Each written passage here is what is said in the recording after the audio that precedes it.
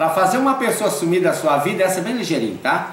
Você vai num bosque, num bosque onde tem mato, né? Ou numa praça, junta um punhado de palha.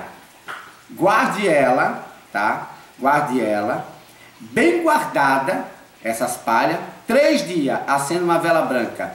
Pedindo para uma pessoa sumir, assim, para sumir da cabeça dela o passado dela. Isso é para esquecer o passado. Então você vai pedir para sumir da pessoa da sua. Para esquecer aquele passado que fica atormentando, que fica agoniando, que fica matando. Aí você acende a vela três dias na palha. A palha de um lado, pode estar numa vidazinha, um prato de barro. E acender a vela três dias, na hora de seis horas da tarde. Você acende. Aí quando queimar as velas todas, você pega aquela palha, espera uma hora que esteja ventando. Vá para um lugar aberto e jogue as palhas para trás. Pegue as palhas assim na mão, que já estava ali dos três dias, jogue para trás pedindo para ir todo o passado, para esquecer todo o passado, toda aquela angústia, toda aquela vida miserável.